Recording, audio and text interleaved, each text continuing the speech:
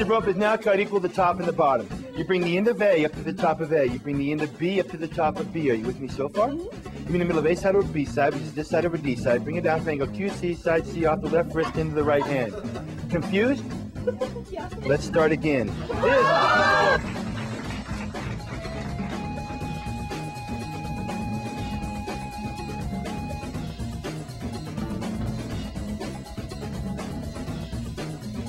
I take a rope like this and pull this through.